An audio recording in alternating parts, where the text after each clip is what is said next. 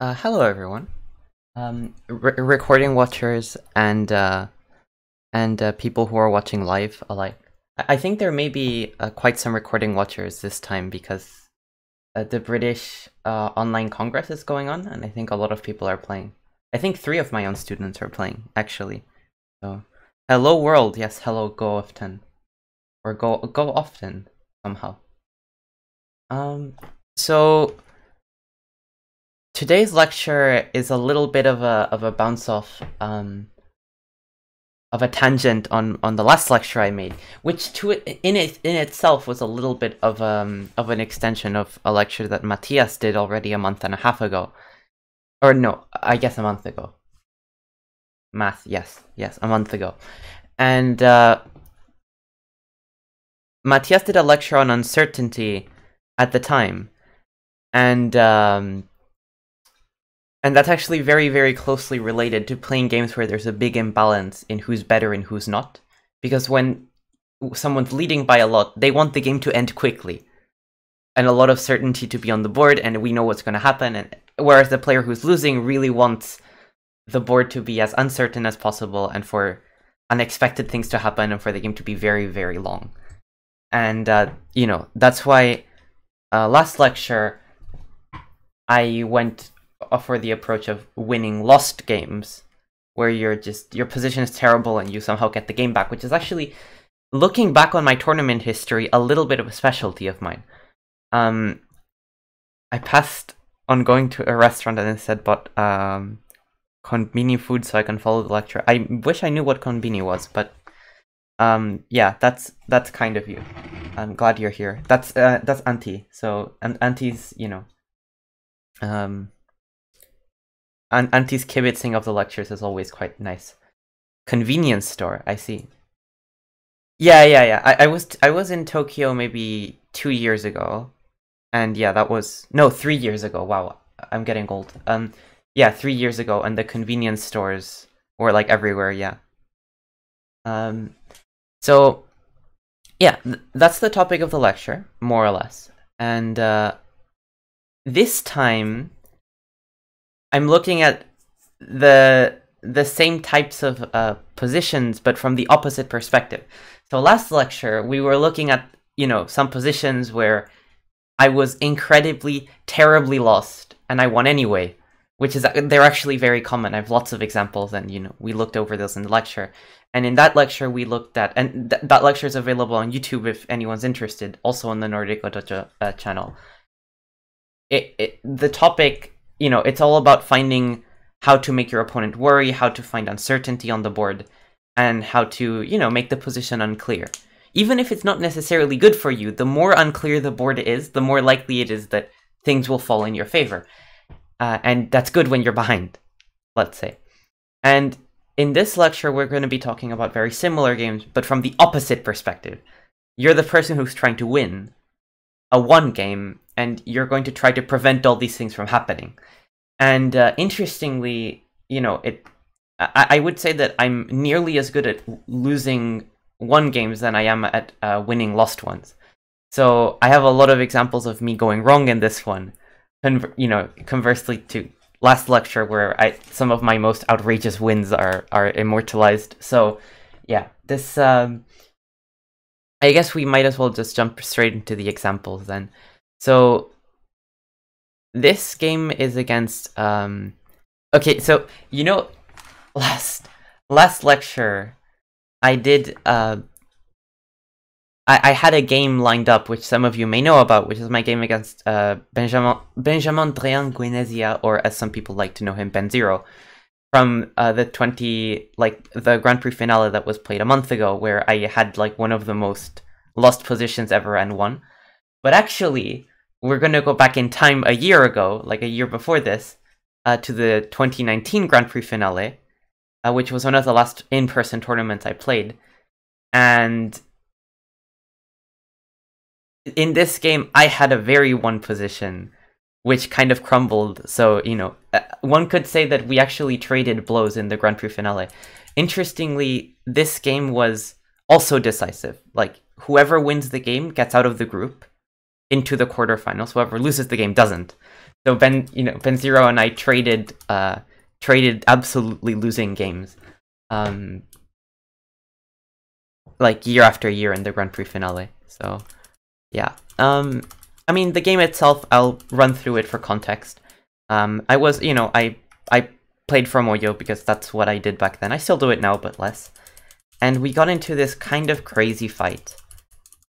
Uh, I cut through. I'm not sure I would have done that now. Um, this game was a little bit over a year ago. And yeah, very suspicious play. I think he could have captured my group in the middle, but he missed how to do it. And in the end, I got a good position. Then all the groups started dying. All of the groups started dying. Um, top left is one of those barely alive ones, huh? Uh, yeah, yeah. So you'll see that almost every, like in this game, around four different groups started dying, and all of them started, and all of them ended up living though. So yeah. So, but I, I, I was, I was black though. So, so yeah. Shows up recently in your games. Yeah, yeah. But this game, this game started as a Moyo game. I had the right intention. Oh, Siku rating with a party of four. Hey, Siku, Siku is one of the Nordic Go Dojo students who was playing in the British uh, online Go Congress, right? How did your game go? I'm, yeah. Yeah, did you win? A good question.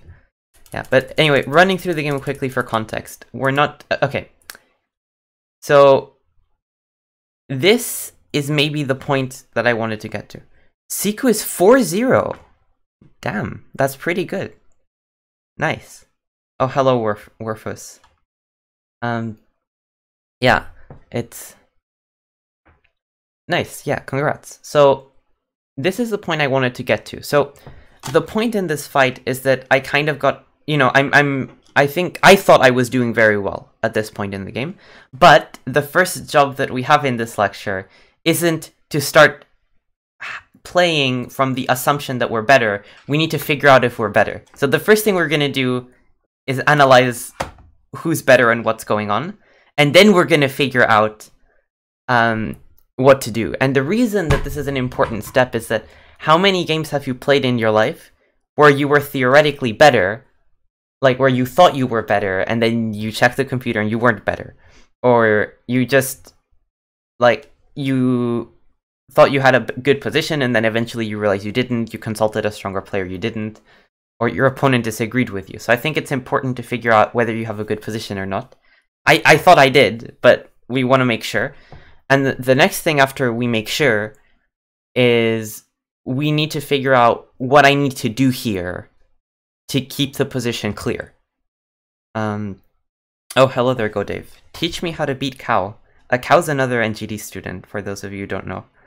Um, yeah, he's uh, he's been doing well recently. Actually, he's I, I saw him be, play yesterday some tournament game and win some training game. Nice game. Okay, so it I, I'd say that this game, and I don't know what chat thinks. To me, it's pretty clearly apparent that Black's better on points.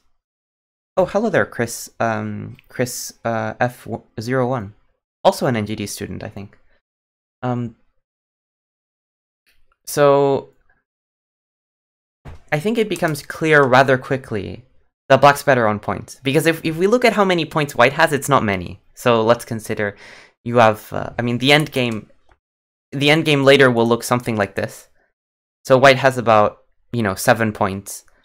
And on the top left, and about three points on the on the on the left side. I mean, after I play this kind of sequence, White's not even alive with the entire dragon, so White, you know, like it's technically in a little bit of trouble.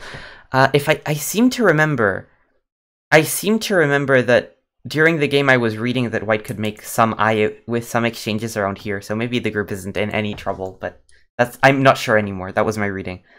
So the last session with Jeff instantly gave me two stones. Nice. Yeah, that was. What did he say? As yeah, asking for a friend. Actually, yeah. Um, yeah, Jeff's pretty good. And TLDR, don't leave stupid cuts. Protect your cutting point. Yeah, it's often good. Um. So I was figuring that the position position is pretty good for me because if, if we tally up all of white's points, including Komi, it barely adds up to 25. You know? Which, you know, I, I and I have more than that. So next advice, don't always protect your cutting point. Yeah, that's the next step. Learn which cutting points to protect. Um, I have a student who's about EGF 9Q or so, and uh, it's a lot about, yeah, keep your group safe and keep your cutting points in order, let's say. And yeah, that, and then later you can figure out which cutting points you actually want to leave. Okay, so I think that in this position, black has about, you know, 20 solid points, but consider that I have this Ponnuki, correct? And I can actually, if I remember correctly, I can kill white in the center with one move. I think I can. Ah, uh, uh, uh, wait, white wedge is here. But I play here then, so that's not actually a problem. So I could kill white in the center, and then I just have a point lead. And I also have, you know, even though the, the game is kind of even on points, I have this corner which will kind of get me some cash. Now, the question I have for the audience is what is what is black scared of here? What are the sources of uncertainty? Like what are you worried might happen to you? And I was pretty clear on what could happen to me this game. Um maybe I was a little bit too scared in retrospect, but you know, in the game in the game, uh, in the beginning, I did a very good job of reducing uncertainty and just getting a better position. And then I stopped doing a good job, so I lost. So, yeah. Mm. So what I was worried about, L9 can escape and counterattack. Yeah, that that's definitely one thing. So if if white gets to escape in one move, then I have several problems. So I have this group, this group isn't alive. Doesn't even have a full eye. Okay, I can make one here. Like, B is Sente. This group isn't fully alive. And this group, if I remember correctly, the status of this group is that I can... I can live locally, except if white starts taking this eye and goes crazy, which I wanted to avoid. So I have lots of problems suddenly, A, B, and C, which I had to take care of. And I seem to remember that if I were to, you know, I, I was concerned that if I start by killing the stones, that white would get a little bit too much, um, too much in terms of center moves uh, towards the top left. So this move should. But I, I think I was too scared, actually. Can this group ever die? The top left group? It has an eye locally. Like at the time, I remember that maybe I was oh, I was winning too too much because look at what I did in the game. I connected, then I connected again. I let white kill me in the center. I defended R13. And and I let white play H17. Then I played here and I'm like, I'm better on point. And I'm right. I'm I'm right too. That's the funny thing. So looking back on this, I was even too cautious because I don't I don't really see the issue with just killing the stones in the middle, which which I seriously considered. Hmm. The the only major concern would be, well, let's imagine that white gets, you know, here I will kill, and assume white sacrifices it directly. It's a little bit too small, so just the right side's bigger. Yeah, maybe the right side's bigger in terms of points, but then if you if you let white play it, then all of black's groups are hanging, to put it in chess terms. So g15 and Sente. I mean, yeah, I, I did play g15, or like, I, I actually jumped h15. So, okay, I guess in retrospect, I'm overvaluing the stones, because this move is Sente, and what I did here, the nice thing is that I'm better, so what I did was very, very clear. Too cautious has probably lost me more games in the endgame than the opposite, says Godave. Yeah, and actually, being too cautious while ahead um, being too cautious while ahead is one of the parts of this lecture that we're going to talk about. So I have games later on where you're being too cautious and you lose because you can increase certainty to try and keep your lead, but if you decrease your lead to increase certainty, that's a problem, potentially. H15 for black looks big. So okay, maybe in the game I just didn't value the stones highly enough. In any case, what I did was great when you're ahead, because my two weak groups are like all nicely connected, suddenly. And white technically can cut them, but it's getting kind of difficult for white to do so. And actually, um, white has to watch out for his own group because, I mean, I, I can I can snag an eye at c9 in sente, and then the plan was to force white to live with two eyes in the center. I, I seem to remember some crazy reading where this move or something made an eye, but I, I'd have to read it carefully. So, in any case, what happened was I defended everything. I played K18. I'm like, I'm winning. And I am winning. I'm winning by about komi or so. Uh, the computer agrees. And I, I would check again quickly because, again, if you're playing with the mindset that you're winning, but you keep making concessions, you might not be winning anymore. So, you know, my counting at the time was that if, if, if I were to keep, let's say, this ring of points, I'm fine. Of course, I'd keep the corner, right? So, with that in mind, what is Black scared of now? Because we enter another stage of the game. I save the groups, I'm slightly better. You know, Komi better. Um, if this just goes into an endgame, I'm exceedingly likely to win because endgame is very straightforward. So endgame is like, I, I'll get this in Sente, and you know, white will either be forced to make an eye somewhere in this center or here. One of the two ways. Actually not clear which way, or if it's possible. I, I have some vague recollection of reading this. But, okay, let's believe that white can make an eye. Whether white can make an eye is not our problem, it's white's problem. So, we're gonna play this endgame in Sente, and then we're just going to close the top right, and there's no endgame left, because we've been fighting all game, there's nothing left to do. So a Komi lead is actually pretty safe. What is black worried about? I ask the audience. What is the...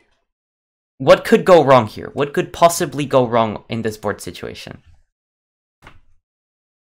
Because to me, it's already one very, very specific thing that is not quite settled yet. And, you know, this is not a big worry, but it's enough of a worry that I need to consider it.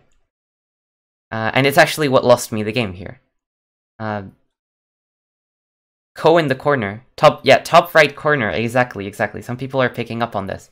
White plays R17. You know, if White played it now, I can hardly avoid a Ko. Yeah, I can hardly avoid a Ko. I mean, I'm, I wouldn't even play the Ko because it's too heavy for black. Like, uh, this type of Ko, If black wins it, you just keep the corner you already have. If white wins it, then suddenly the, the top right becomes, like, black's weak there, suddenly. So, this type of Ko. Now, the reason white isn't activating this quite yet is that is kind of twofold. So first of all, if if we play uh, J 17 here, for example, white's dying on the top side. And this corner is big, but it's not that big.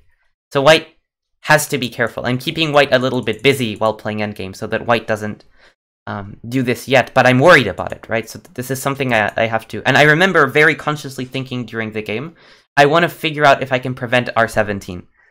And uh, so for the moment, for the moment, white does nothing. Now, if white started this now, I my intention at this point was to try and kill.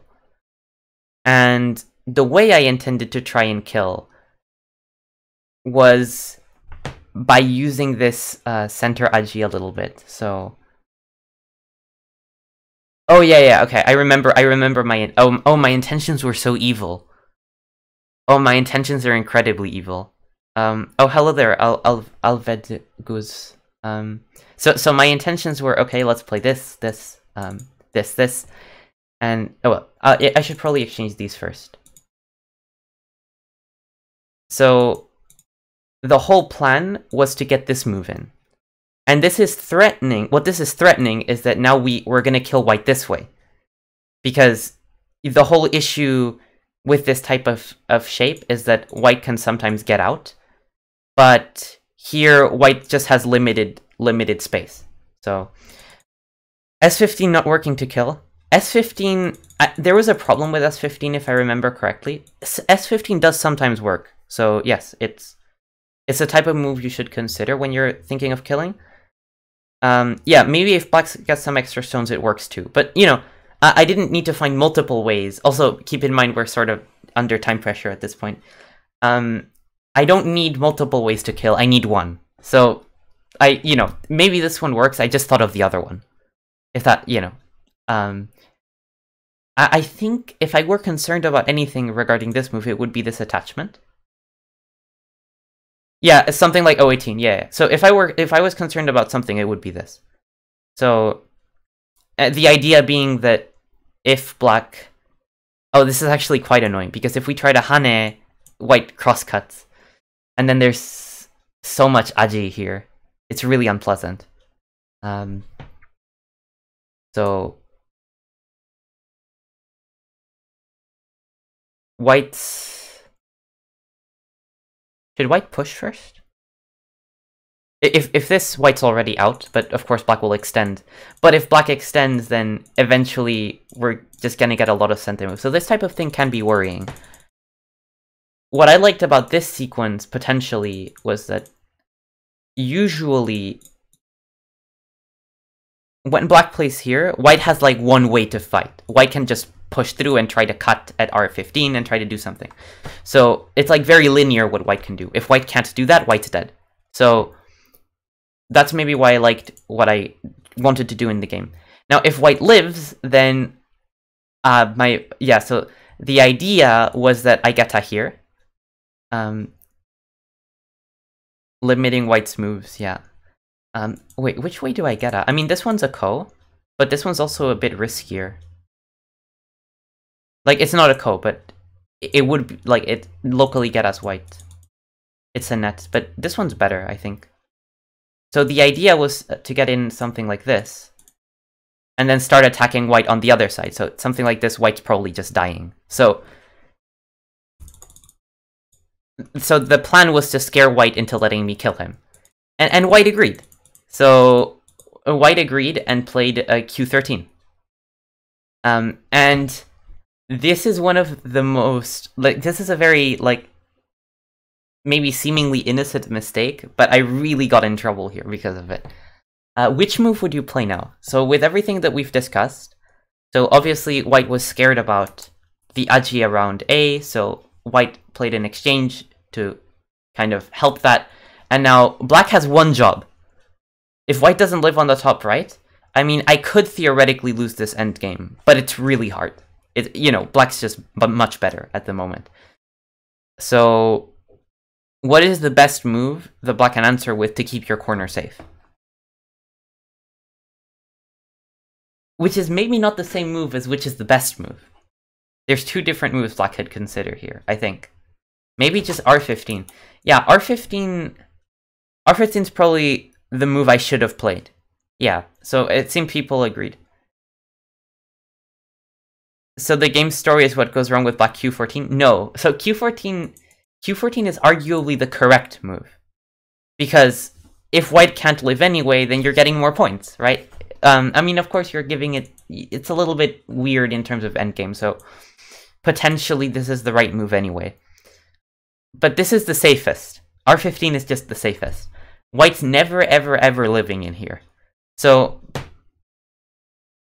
I not play R15 during the game, but but easy to say afterwards. Well, I so R15, I'm annoyed in retrospect that I didn't see this move. Like, it didn't really occur to me. The move I thought would keep my corner safe was R14. And R14 looks good as well, like, it looks hard to live in here. But then you need to see what happened to me in the game. Um, so, this small detail, you know, it's it's a little bit of a small detail, but honestly, it's obvious that R15 protects Black's corner more than R14 ever could. You know, this is like, this is like, does Black want White to make this exchange for him? Of course he does. the center is very small. White cannot really make anything there because there's A, there's B. Black can enter it multiple ways. It's not a big deal. What black wants is to have this corner be safe. Because at this point, the end game, the game, end game is so small, the board is so complete that the only thing that could go wrong is this corner. So this was a very easy situation where black can compromise a little bit and get a good result. I might see it during the game because the double knight 4-4 enclosure scares me. Yeah, there's always actually in the double 4-4 um, enclosure. Um, so, like the double, like, knight. So, I mean, this isn't, I mean, this is a transposed double knight, I suppose. So, okay, white obviously invaded, and here I was having a hard time figuring out how to answer. Uh, and in fact, I actually blundered and let white live. So, um, you know, white shouldn't live. White should get a ko at most. And I'm wondering which types of moves I should consider here in retrospect. The problem with the Hane is the crosscut, after which white's gonna get out somehow. That's that's the thing. This shape should get a name. Um, Black's correct shape. What is the correct move here for black? I, I don't, like, I, I, I've seen a lot of, um, doesn't R15 still kill? R15 bump both sides. You mean this? Yeah, I, I've seen this in some AlphaGo games. I've seen this in some AlphaGo games, but I remember having a problem with it in this situation. So usually I would do this. So the longbow. yeah. Uh, I, I remember that there was something I didn't like about this. Um, I mean, it's already bad I got myself into this situation. Like, let's say that white, you know, I played A, white played B. Black would play C. Black wouldn't play here, you know? The shape is super thin and white gets like everything they want on the outside if you force a kill, I think. Um, well, in this case, this type of situation is a little bit worrying already. And, you know, black can kill this locally. Black can kill this locally. I'm just thinking... If we're spending a move to kill locally, then what's happening to our group? I, I guess the better move the better move is probably here because we get eyes with one of the groups, and then with I, which is the better way to kill? I guess this should be okay for a black. So yeah. Hmm, so maybe I could have tried this move. I, I think if I had to guess, if I had to guess 2-2, yeah, 2-2 might be the best way to kill. If I had to guess, I was scared of this move, because I've been thinking about it now, and this move's pretty scary. Um, so us usually this move wouldn't be scary, but it is because of some stuff on the outside here. Um, or that's that's my guess as to what scared me. Like, I played a different move and uh, misread a basic Tsumego, which it wasn't better than this, for sure. Um, so the idea of this move is that if black plays q17, this Hane should be a little bit annoying.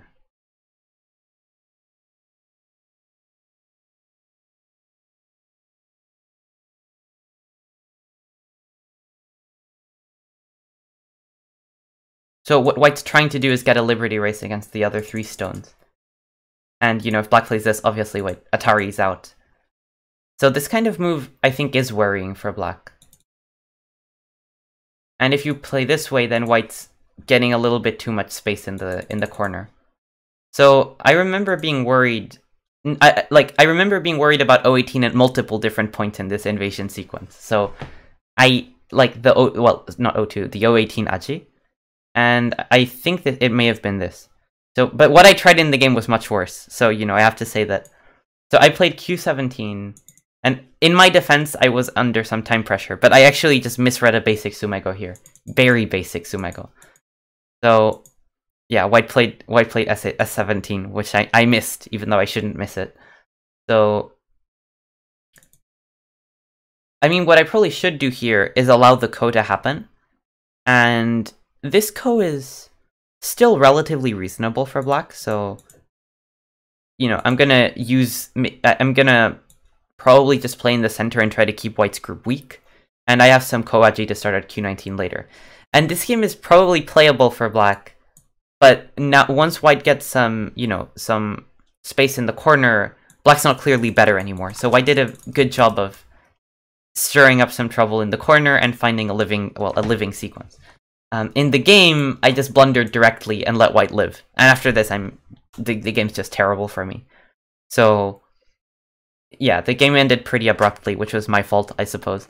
And uh, the game basically collapsed in only a few moves because if I were to play here, I think black's just clearly better in an endgame where not that much is happening, so black's just going to win, very probably. Um, now, yeah. So, from the perspective of of uncertainty and just finding peaceful ways or reasonable ways to reduce how much trouble can happen on the board. Just h15, connect all your stones, make territory, and then play r15 would have been a very good way to play.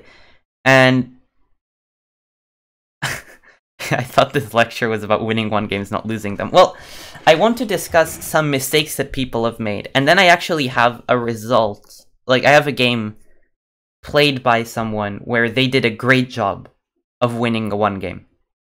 Um, and that's that's gonna be the the end the end game for the lecture. So okay. Oscar adjusted it when I joined the stream. Oof. yeah. Um. So okay, this one. Yeah, this game actually was one of the more important games I had played at the time.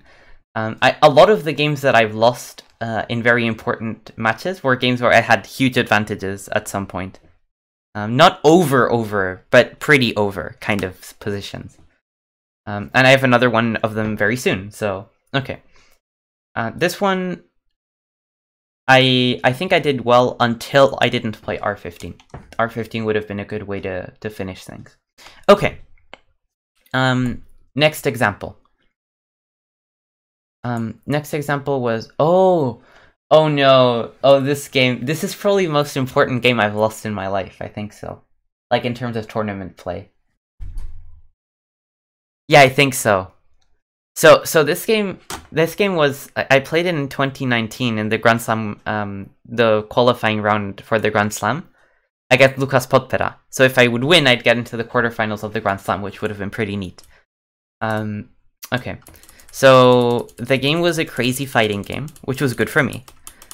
Um, um, I cut I cut F10, which is insane. Wow. Yeah, F10 is, is insane. Because you're leaving all of this aji on the left side of the board, and white isn't even that weak on the outside. So, wow. Okay, but this isn't the point of the lecture, it's just remarking I'm insane. Like in in the in this game I'm insane. Oh oh, and I didn't want to defend the left side. I I didn't want to defend the left side. So I was reading for a long time and I was like, "Oh, this move stops everything." I read it. Um I mean to be fair, Grand Slam like to be fair, the Grand Slam had very slow time settings. E12 is even more insane, yeah. Um, yeah, yeah. You could tell that I'd only been teach like I'd only taken uh teaching from Jeff for like two months at the at the time, or like a month and a half. So I was slightly insane, yes, at times. Uh, that has its good parts, but yeah. So actually, in this fight, we actually misread a sequence where White could kill everything. But what ended up happening was that I sacrificed the corner uh, but I get a lot of strength on the outside where white has a bunch of weak groups. White ended up letting go of, of these guys. And... Uh, oh, I took d18, which is disgustingly bad. Oh god, yeah, yeah, okay, never mind. I mean, ah, okay. So, yeah, it, not important, not, not the topic of the lecture, and just remembering. Um, like, I basically let white take my base on the on the top side. So, okay. Uh, and here's the maybe the the fun moment in the game. I invaded the top right corner because I thought I was behind. Or like, yeah, because I thought I needed the cash. And I, I put my group, my central group on the line. And then uh, ended up living, like, yeah, this was... We still had some time on our clocks in this game. So I ended up living that I like. Well, I ended up reading that I can escape with with this attachment, and like somehow my my group escaped, and and I I took White's corner on the top right, which was a huge success. Um, oh, hello there, browser. Yeah, congrats on the win. I mean, I didn't know someone. I didn't know you'd won until uh, someone congratulated you. But uh, I was watching the game before starting the the lecture, so you know, uh, I I guess you would win. Okay, so we reach this position, and the whole idea. So, Black's group is still locally dead because this eye is false. A and B are miai, and this Y isn't completed, so you know Black's quite dead but white can't really do anything to it. So let's say that white tries to cut, then black will extend, and then, okay, white can technically cut, but then black runs out. And then the group at A is much weaker than than than my uh you know these these stones are actually quite a bit weaker than than my group which is you know poking its head out at A. Uh, so black should be completely fine for the moment. Um, but anyway, yeah, we, we reached this position. I, I've shoplifted White's corner, which was great. And, uh, you know, nevertheless, I think this is a good moment to stop and evaluate the game and see what's happening. And this is like, you know, just figure out who's better, who has more points. And also, if you are better, what could go wrong, right? What are the sources of uncertainty? And what are you going to do about them? Um, because so late in the game, when you have a favorable position of differing degrees, you can you can figure out what could go wrong, right?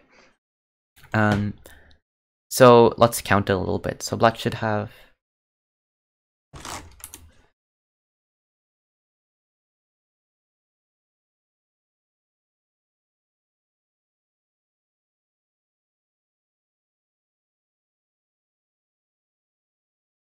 I count black at around 47 plus the corner. And the reason I say the corner is that we're talking about sources of uncertainty. It's a little bit uncertain whether white will ever invade around D. I like Jeff's expression for these kinds of situations, crush the opponent's dreams. Yeah, yeah, so, yeah, so, going back to the lecture I did two weeks ago on playing from behind, on, on winning lost positions, you keep be you keep dreaming big. Yeah, you keep thinking, well, maybe I'll get this big thing, or maybe I'll get this great thing, or what if I, uh, what if my opponent screws this up? And the idea of playing from ahead is that you look at all of those things. You know, you look at all of those problems that your opponent might want to, you know, think about, and then you, you know, and and then you quell them, right? And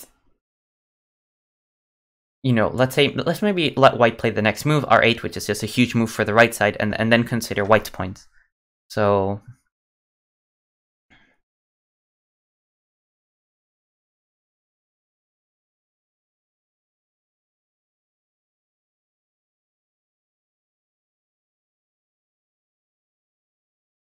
So I, I count white at about 52. Remember I said black has 47, plus whatever uh, he makes in the corner.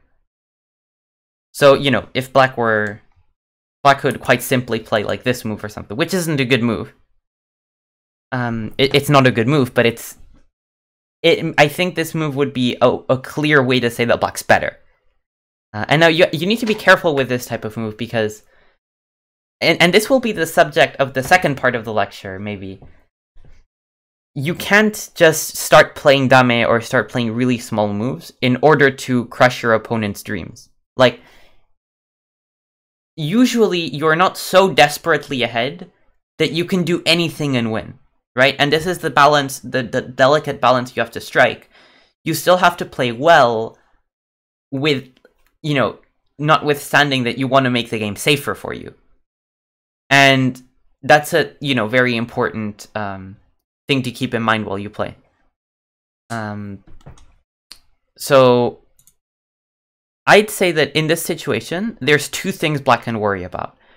And, you know, we've already established that Black's probably around 10 points better, you know, um, on on cash if the the lower and right uh, and right side are, are secured. Uh, but okay, let's talk about some sources of, uh, sources of uncertainty. The first one I can think of is theoretically, you know, these cuts still exist. And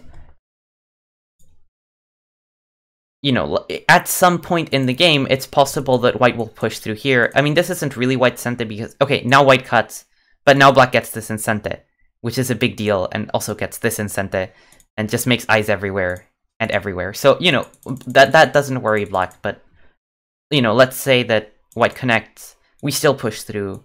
For now, we're fine. The point is, this is uncertain. Like, white has a way to cut this group, and we need to keep that in the back of our heads. Um, and during the game, what I thought was, well, white can't do this yet, so we won't defend it. I think the the reasonable way to do this would be to say, these exchanges aren't even bad, let's just make them. You know? Because it might not work now, but it might work later. So I, I think that this would have been the safest way for black to play. And black's next move might actually be here, to be quite honest. Like, it the two sources of uncertainty that I was discussing were R3 and and the cut in the middle. Making these exchanges is reasonable. Yeah. They're a little bad, but they're not really bad. Like you're still gonna you're still gonna get the peep the peep at C. Um, you're still maybe gonna get to play the peep at D later. Like White's group isn't super strong, so probably if I were playing, I would maybe just exchange one of them so, you know, you don't need to exchange both because if once you exchange one of them, then like we said, white, you know, white can hardly play this. The only way white can cut is to do this, but this is like suicide. Like black's just getting eyes everywhere and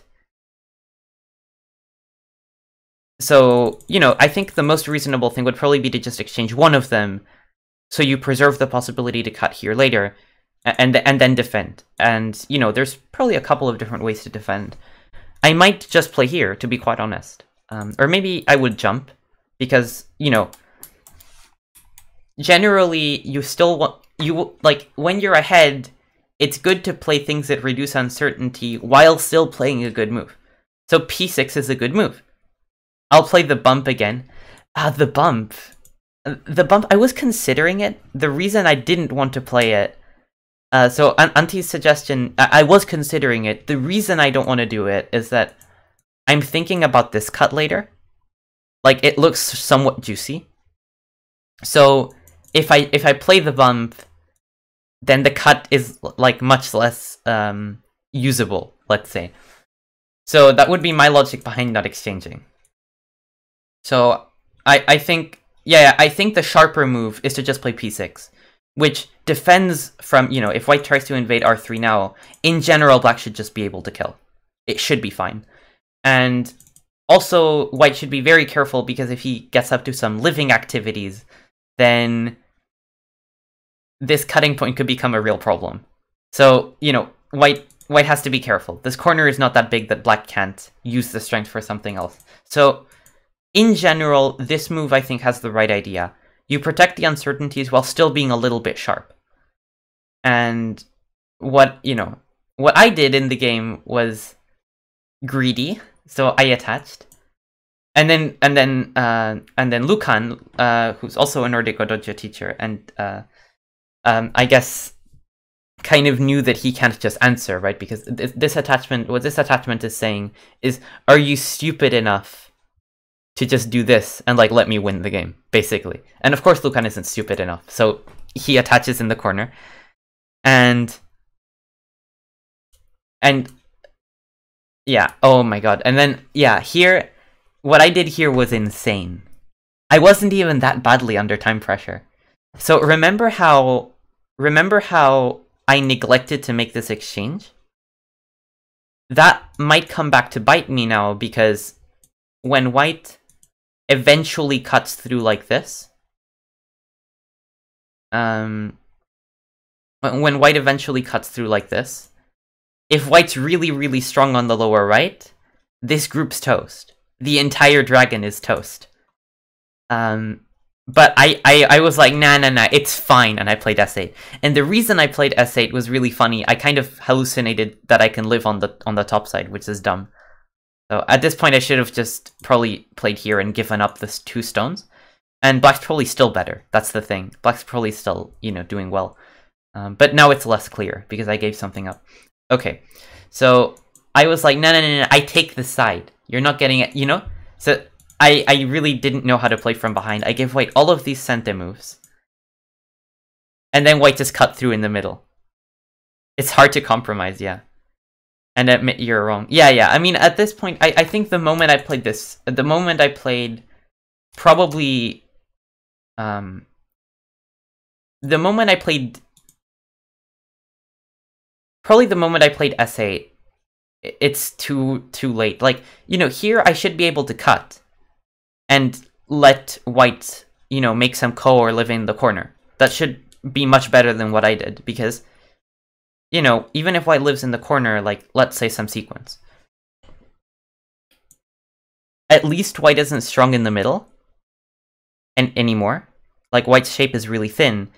And then black, I mean, white's even locally dead, so I don't know what the problem was for me. Oh, oh, ah, ah I remember.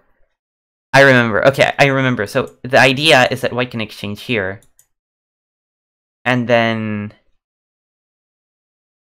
and then play this, I think. Or maybe exchange this first. So, you know, white has some ko in the corner. And, you know, this is uncertain because my own group on the outside is a little bit weak. Uh, so maybe white thought that this was a good chance. But this is still what I should have done. Like, what I did was, like, playing right into white killing me. So, yeah, white cut through, and now I'm, I'm just dead everywhere. So, like, this entire, this entire group is is dead. I just assume I, am I'm, I'm always wrong, so admitting to, to being wrong is easy. I see. Yeah, well, when I I think here, you know, the problem is that black has a very very easy natural way to increase certainty. So, you know, it isn't hard to just get this exchange out of the way. This exchange isn't even a bad exchange, it's a normal exchange. But I have sometimes this attitude that I don't want to make exchanges.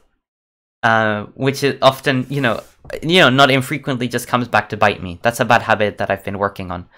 So if I just play like this, all the certainty is quelled in two moves, and these moves aren't even bad, and that's the key thing. You have to play moves that make sense anyway, but you always need to keep in mind how your opponent might want to make life hard for you and prevent that from happening. When you're behind, uh, when you're behind, you have to do the opposite. You have to play moves that look kind of reasonable, but also keep in mind that you have to make your opponent be as uncomfortable as possible.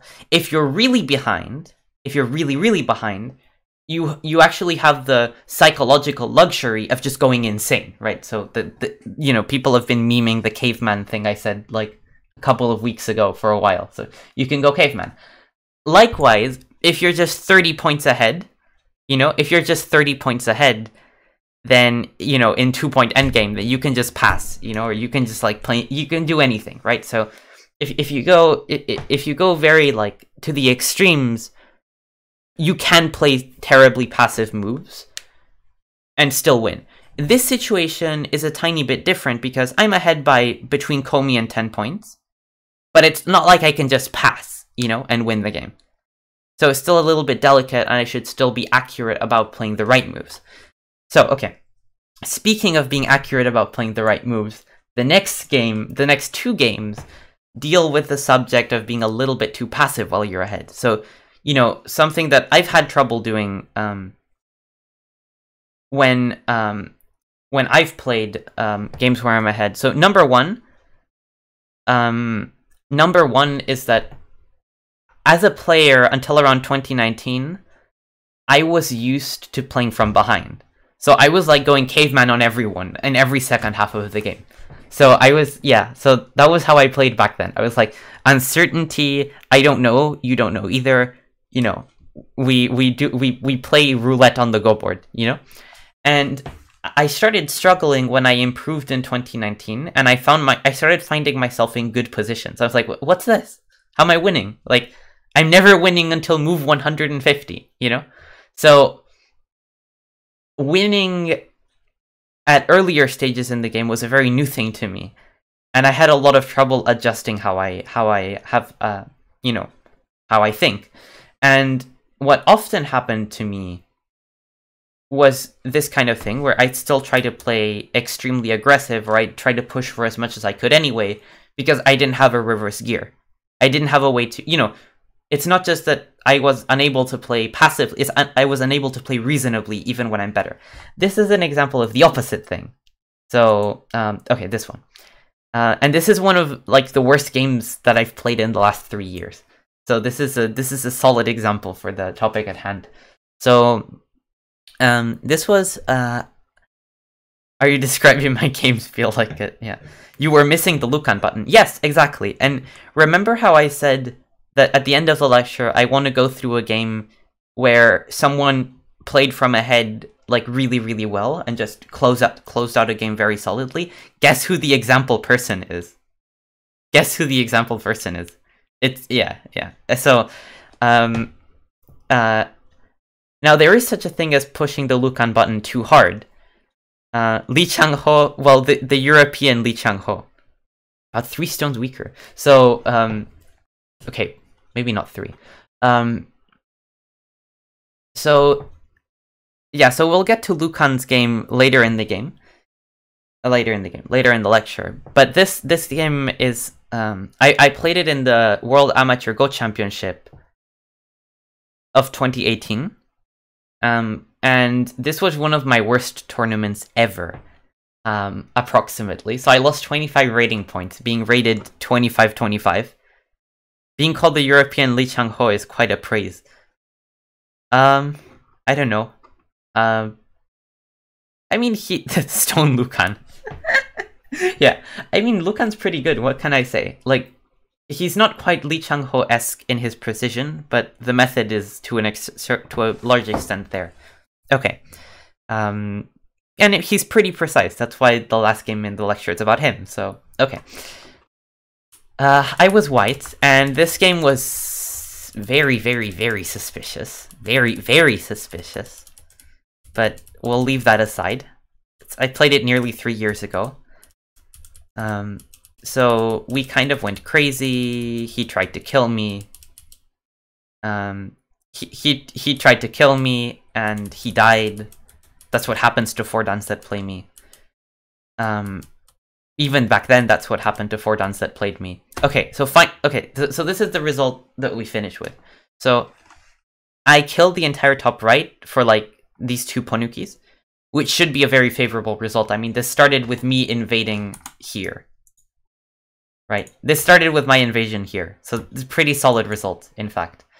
And for some reason, he thought it important to protect 12 points in Gote. Um, and, okay. Now, let's go a little bit forward. And, okay, we're going to talk about this position. Or, you know, we could we could start from here as well. Um, White's very much ahead. So, you know, White, if if I had to to guess, you know, Black's solid points are approximately this.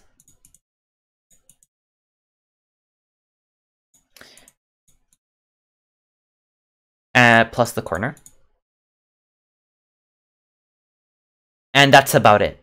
And the reason is that, you know, when I play such a move at s4 later, uh, you're either going to let me kill these two stones, because right now the only reason that I can't kill the two stones is this cut. So there's actually a lot of Aji there that's going to let me live in the corner later. And of course black has some influence, but this influence is not worth the huge deficit on territory that um that black has. So, you know, I'd say white has, I'm going to count quickly,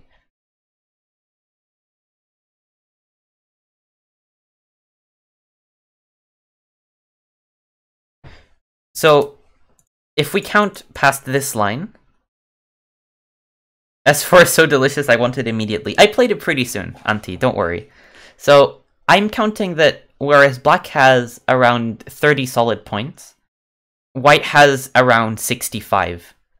If we count, like, without even counting, like, G15, and, you know, counting 5 extra points here. So, white's really, really good here. Of course, black's influence is a little bit stronger than white's influence, but it's my turn, I can reduce it. And, you know, I I mean, even my influence is kind of good at... Okay. Um, so we arrived to this point, and, uh, you know, white is unusually ahead in this game. So this is the type of game where we can argue, yeah, white can kind of relax here. You know, like, we we can be a little bit less stringent. Like, you know, often you're ahead, but you're not very ahead, so you still have to play accurately. You can chill here a little bit, you know, in theory. Uh, but nevertheless, let's start by considering what are the sources of uncertainty, what could go wrong, and, like, you know, what do we do about it, right? Um, so, I can see, broadly speaking, three sources of uncertainty on this board.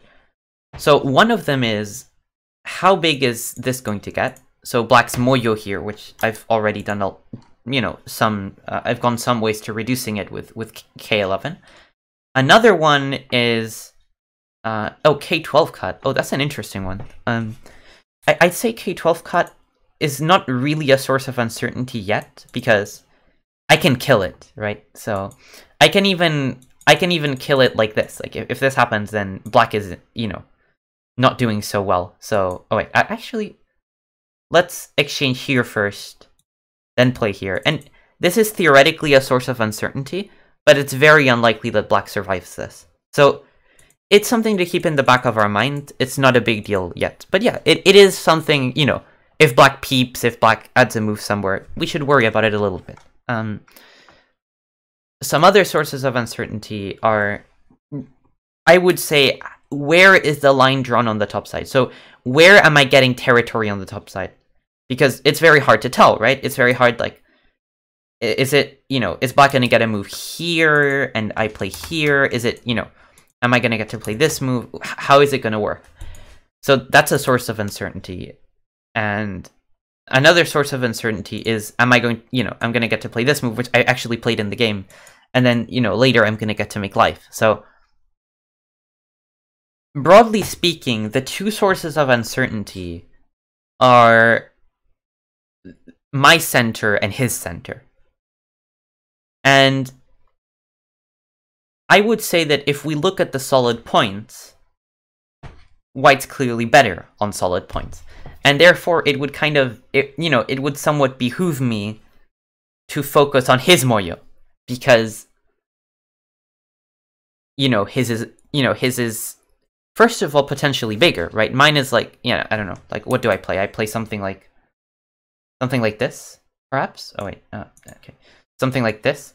And I just keep a little bit of extra, whereas black's theoretically has a chance to become very big. So, you know, the maximum potential of this moyo is like this. And then the, then I don't invade, which I can invade, but, you know, I'm ahead. I don't want to invade. Um, so in my mind, you want to reduce uncertainty while still playing a big move. What are some candidates for that? What are some obvious big moves that you think help reduce uncertainty? Help, in, in this case, help limit Black's influence. Uh, and if, to me, there are a few candidates you could consider. I don't know what chat will come up with. Um, to me, I would probably consider something like this shoulder hit, maybe something like this pincer. I think this shoulder hit looks good. Um, in retrospect, you know, like, um, I had actually Jeff, in, in our first lesson ever, uh, Jeff uh, showed me this game and suggested H3. I probably would shoulder hit, so the idea of the shoulder hit is that, you know, if something like this happens, then black, you know, you can still live in here, so black's territory is very limited, and you know, after white plays some move that makes sure that the group isn't isn't dying, then how does black make 60 uh, uh, how does black make 70 points here? It's like physically impossible. And you know, this is just a very big solid reduction and a big move, right? So just if you look at it from the perspective of Go fundamentals, the lower side is the only open side and you want to limit the moyo a little bit. So you know you might want to play you might want to play the pincer. And, you know, that's possible. And, and then, like, shoulder hit and create a group. That's fine. And, you know, you have some ambitions of connecting on the second line later. The reason I'm not such a fan of h3 in retrospect is that black theoretically can, you know, sack the one stone to build the wall, but this wall is actually uh, this is perfect. Like, uh, white's winning so bad, like white's winning so hard that it's not like it's impossible to lose this because white displays here, here, here. Black's influence is theoretically a little bit something, but you know, after white attaches here or something, it's gonna be sufficiently reduced. Like this central profit, uh, this central profit is, you know, very much limited by the stone at k11. And this is one of the things about the center, right? The center isn't really big, right? Or it is big, but another move rarely affects the center status as much as you think it does. What about a silly move like h11, or is it too easy going? H11, so if we go to h11, h11 is just not doing that much. So you're still leaving a hole in your own wall, and you're you are limiting black's potential. Like it wins, everything wins. Um but it's probably not accurate. Like this random center move shouldn't be bigger than a move that follows, you know, go fundamentals a little bit more soundly because, you know, we've been taught that this move doesn't really do anything for territory.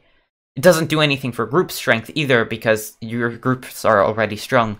So you might as well just play on the side of the board and deal with your opponent's influence.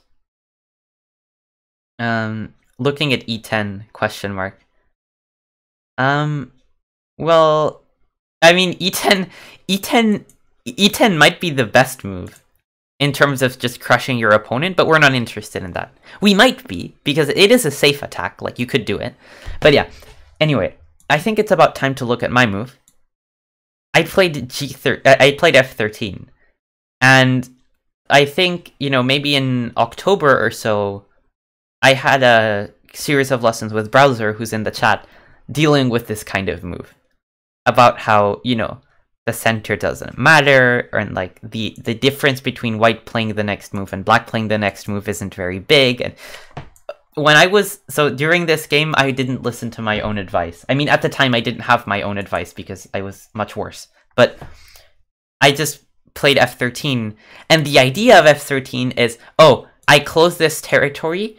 Even you know what I was doing was I counted this for black, and I'm like, even if black gets all of this, black isn't winning yet. So I was like, oh, I'll just close my my territory, and I have a point like, I'm still winning. It's just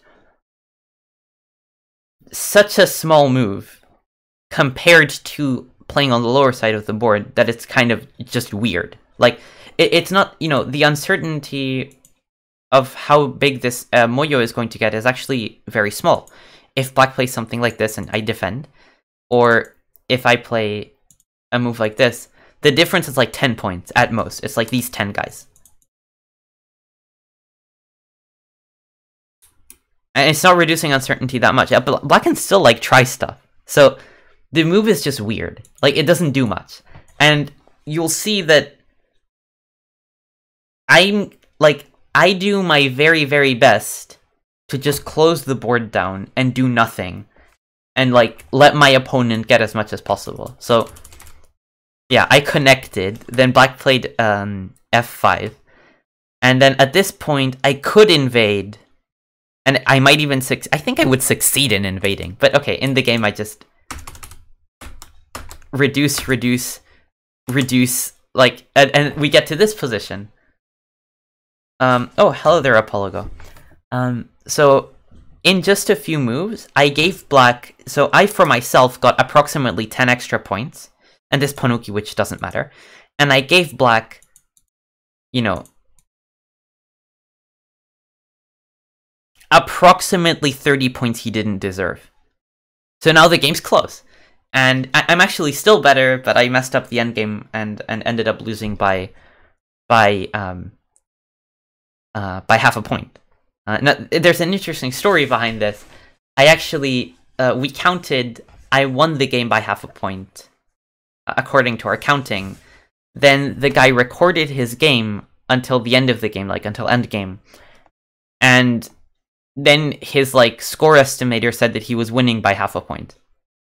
So then he he went to the organizers. He was like, "I won by half a point," and then the the, the organizers went to me and they were like, uh, like this was actually Michael Redmond who was the referee at the, like at the event, and he was like, um, "Well, you know, how about we replay the game and we see?" And then the the result was like, it, you know, we we counted again, and I lost by half a point. And they were like, "Well, we can't annul the result once it's already been agreed to, so it's up to you." Um, this last round of the tournament also, and I was like, "Yeah, fine." So I lost the game, and actually, I got I got a uh, but actually, I got a, the Fair Play Award, and I got these like really nice uh, Japanese ghost stones for it. So you know, there's goods and bads. Um, so this this game this game got me this game got me a nice uh, set of stones, which was you know they, it was nice of them. Um, okay. Um, yeah, this this game this game was um, if I let my opponent win, I get nice stones. Yeah. Plus, Redmond got to see your horrible play. Ah, don't tell me about that. Jesus. I mean, me seeing my horrible play is, is like, terrible. Um, okay. But yeah, the main thing in this game is that there is such a thing as playing too passively here. And, like, when you're ahead, you can play, you know, you don't need to go crazy, but you can still play things that you think are reasonable. You can still play things that you think are big. Like, you know, something something I used to do. I, I used to do this thing that's very like BM.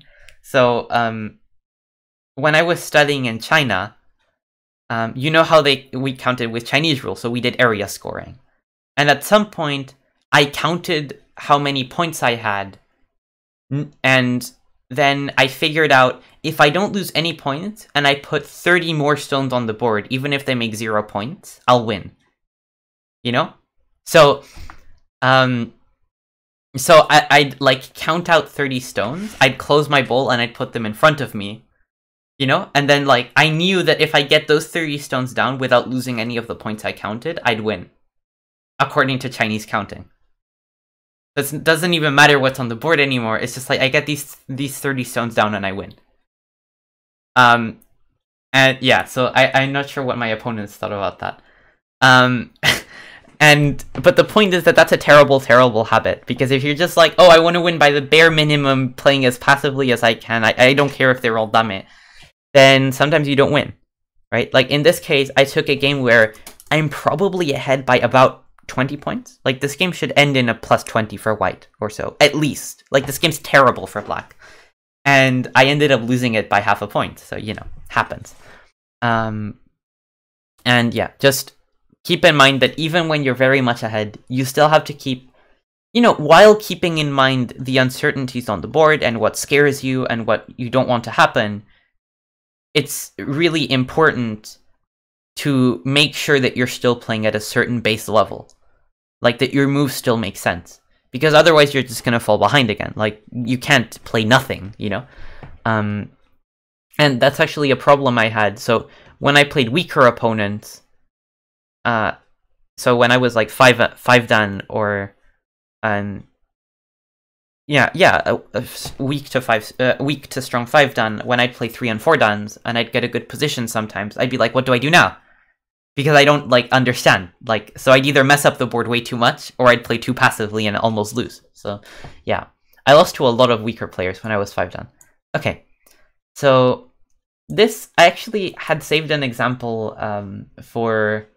I'd saved another example of how playing too passively and um, while ahead can lose you a game, and this is actually the only game, the only win of mine uh, against uh, like in in this whole lecture, it's a game against Andrei Kravets that I played very recently in the Grand Prix finale. But unfortunately, we're already 70 minutes into the lecture.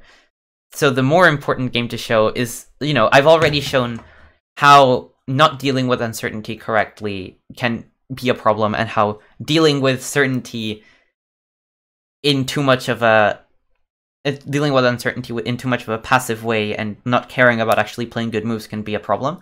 More than showing another example, I think it's important to show someone who actually is good at this. So, um, I struggle slowing down now because Jeff said every slow move makes the game closer, and then a small mistake can end it. I can't shake that idea.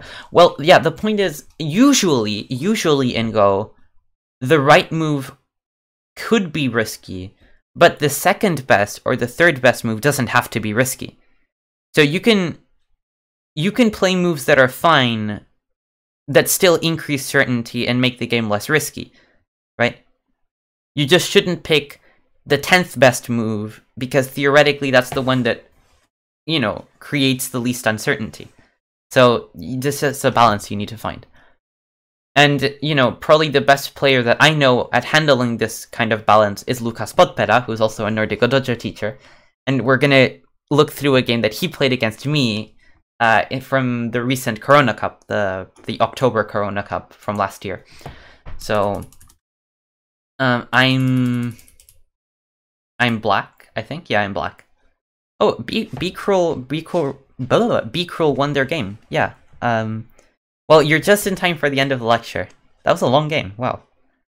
Um, so, yeah, this game, uh, so since you just joined, this is like the last game uh, I wanted to show for the lecture. And the idea is, this is a game where White, Lukas Podpera, handled the handled being ahead very well. So just did a very solid job. So okay, we, we'll go through the game. You know, the game itself was I was probably a bit better, I thought, for most of it, but only a bit better, so I liked my position. Um, eventually I messed up, as I'm wont to do. You managed to burn your entire clocks, yeah. I, apparently Be Cruel and their opponent did. Um, that happens... Uh, when was the last time I played a tournament game and didn't get into Byo-Yomi? Or like, didn't get under time pressure?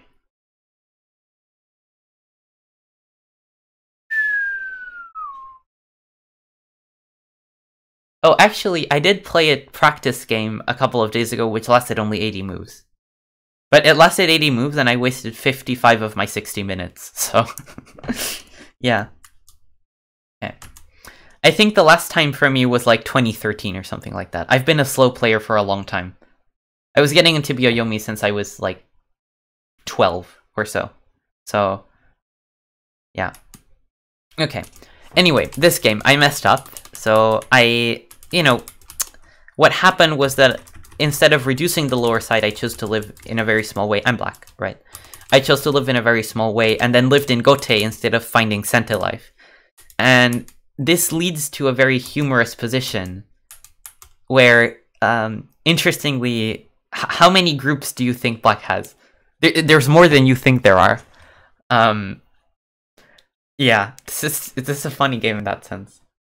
Um, it's even funnier when you realize how many groups white has. Um, so, and then you wonder who won.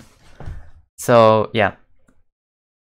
Anyway, in this position, white should undoubtedly be better. And the reason is, uh, seven group, wait, seven, seven? I count six, wait. So I count one, two, three, four, five, six.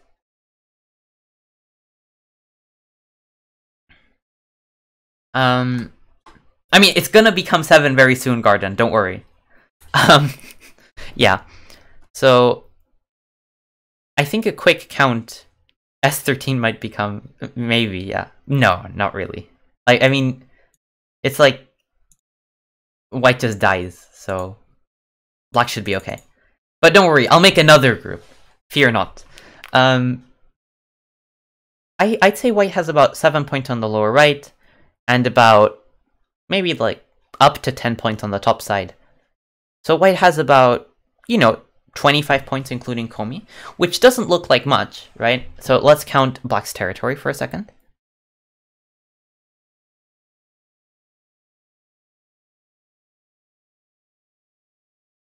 So I have more points, so I have 42 points, so I'm, I'm ahead, you know, roughly 15 points. But white has two advantages. It's white's turn, um, this group isn't yet alive, and White has this all of this influence that I have to answer to. So, you know, white, you know, white, white plays, if white plays this move, white's already better on points. Um, if, I think if you stick this on a computer, white's about 10 points up. So, yeah, that it's a good game for white.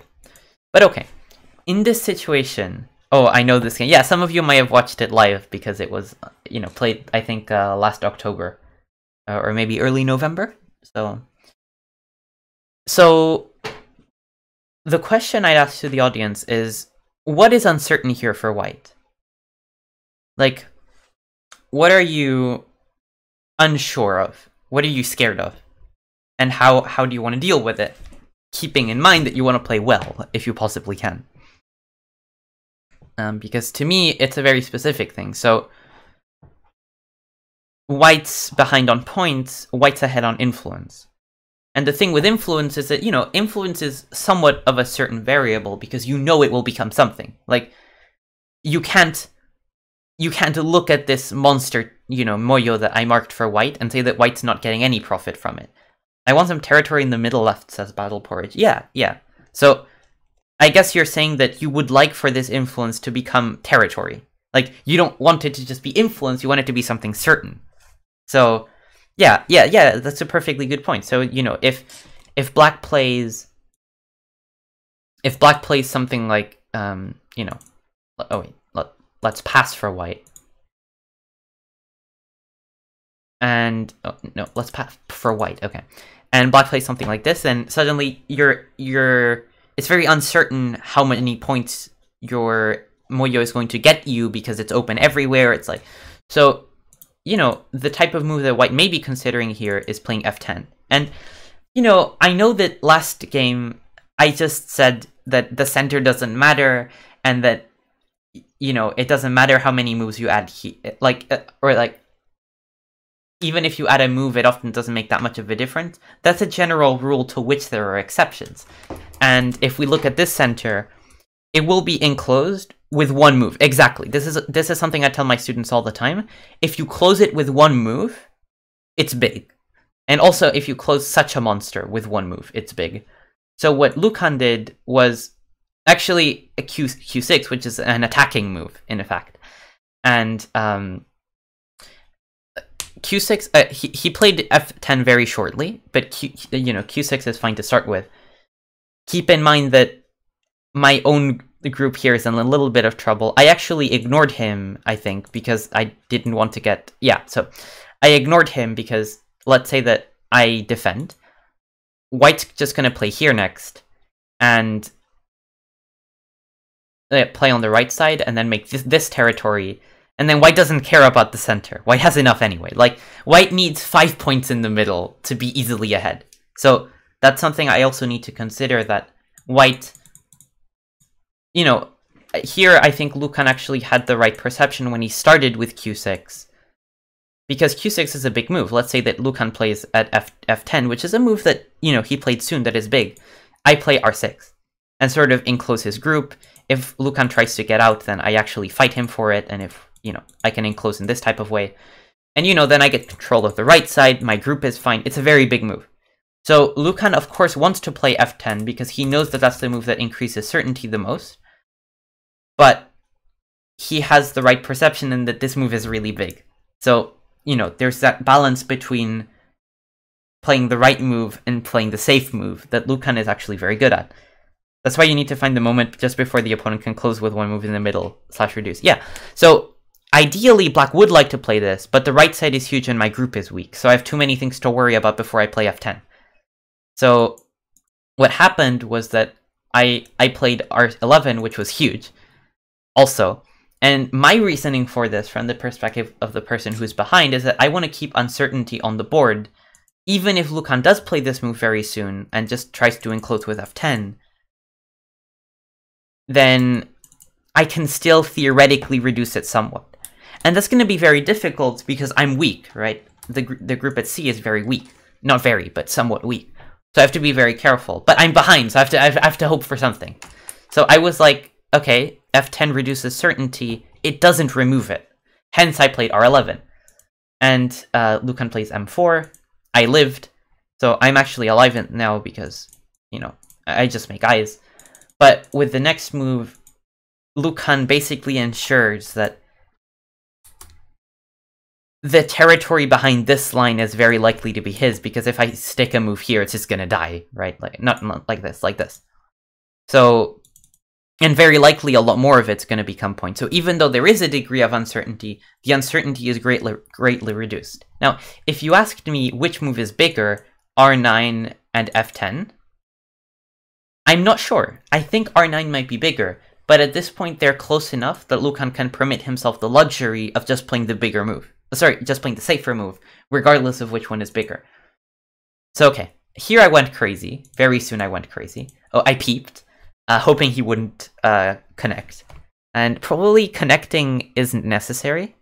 I think probably what white should do is, you know, play something like this, and then, you know, I'm never gonna cut because my my stones are gonna die. I mean, they're they're not happy. Um, I'm in more trouble than white is for sure. So but Lucan connected, which is maybe a little bit too safe, but it doesn't change the positions, and he's much better, so I understand it. And, okay, here's when I went insane. So I played uh, L7. And, um, yeah, L7 is... L7 is asking to be killed, I suppose. Um, because, you know, White's gonna play this move next, which he did. And you know, this is this was basically the most that I thought I could push for without certainly dying. Um, but the way Lucan handled this was very nice. Now, you could play something like J7 and just close and just increase certainty. You could. But it's not correct. And it's very safe to attack this because it's not like I'm going to go deeper. It's not like I'm going to go deeper. This will this will just die. So I have to basically be protective and run.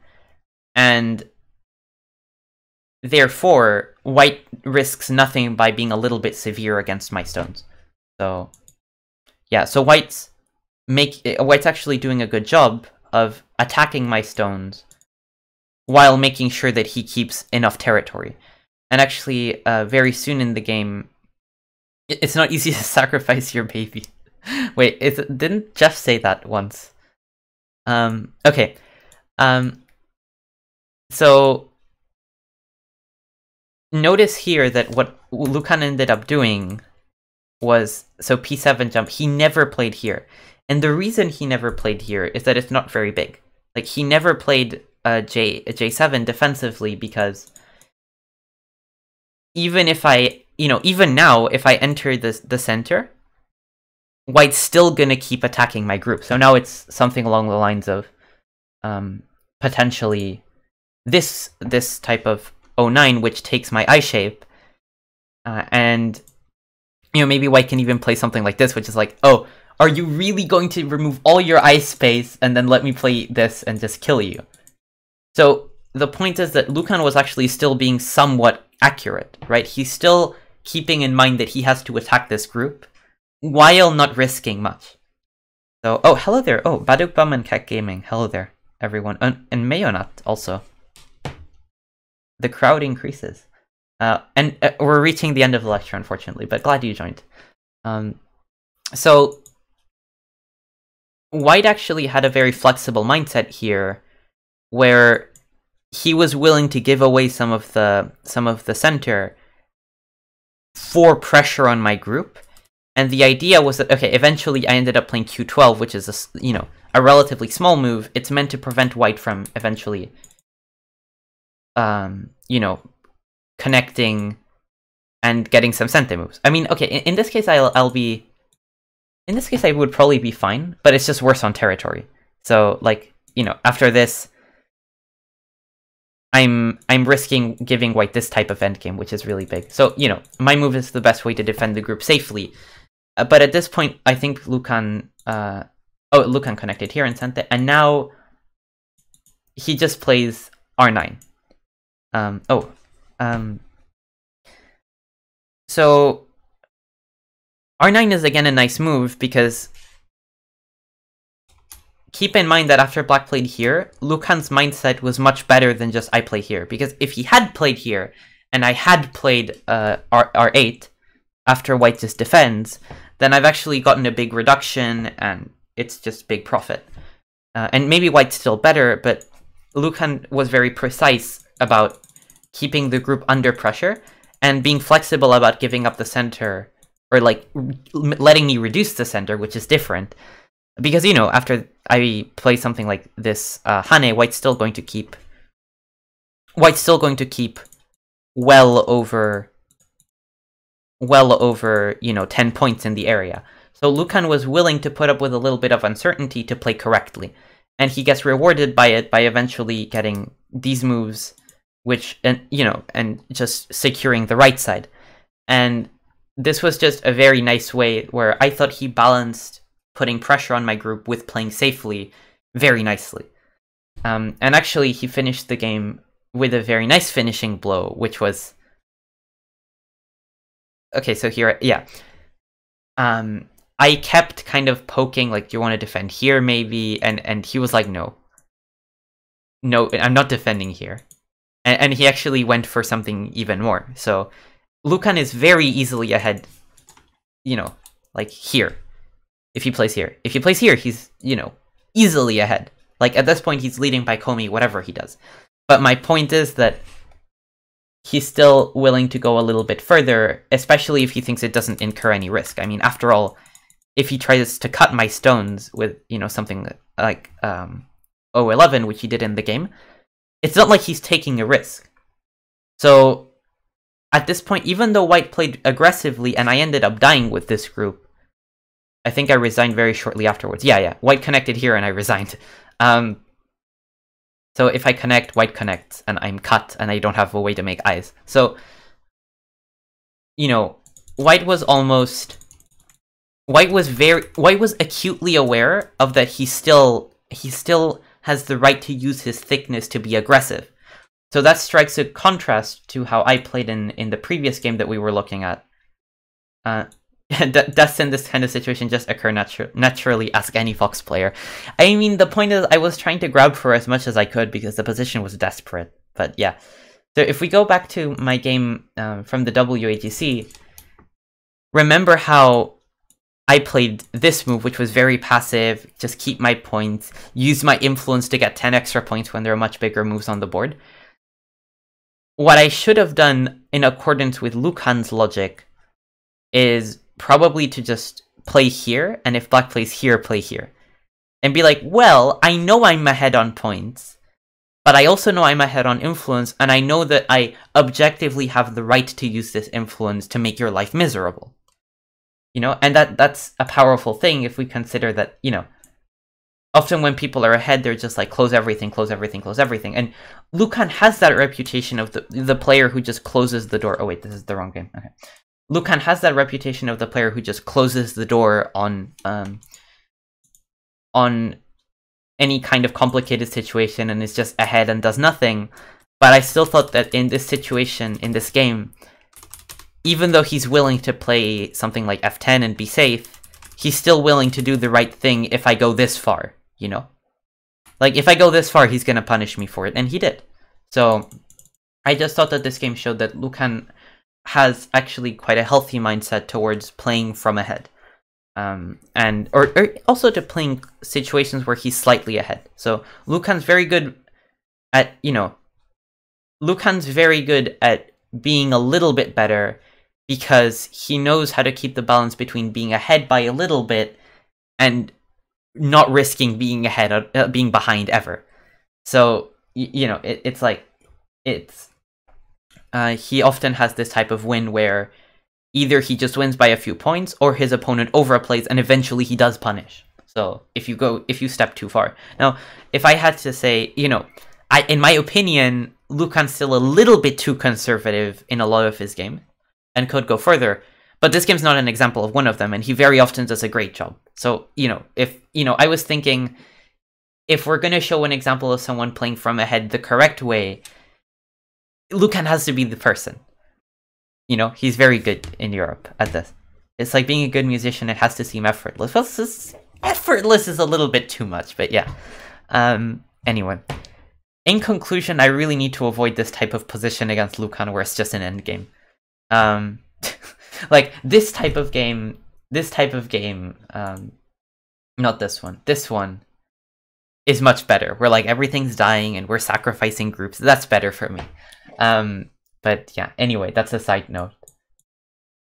But yeah, that's probably uh, what I'd prepared for this. I'd actually prefer prepare, prepared more, but uh, you know, it's uh, time for the lecture to end and time for me to eat and stuff like that. Um, but yeah, I I hope this was helpful. Um, I it was meant to be a little bit of a look at the flip side of uh, winning. Um, oh well, uh, the flip side of winning lost positions, just winning good positions. It's just same kind of position, but what are you looking at from the perspective of the person who's ahead? Yeah, yeah. Thank you, thank you everyone for watching. I hope that was uh, helpful and stuff. Check out the NGD YouTube channel if you want to watch some of the VODs. Um, all the last three of the lectures, one by me, like two by me, the last two, and also one by Matthias, have um, um, are on the subject of uncertainty and are kind of related. If you're interested, and also, uh, I don't know, if you're interested, check out the NGD website. Those of you who aren't students, and uh, yeah, that's about all I'll mention. And thanks so much for watching. And I don't know, there will be an NGD lecture in two weeks. Again, probably not by me, probably by someone else. Um, and yeah, that's that's a, that's about it. If you want to stay tuned. Um, yeah, what else can I say? Thank you very much for watching, and hopefully see you uh, see you in the next couple of weeks. Bye.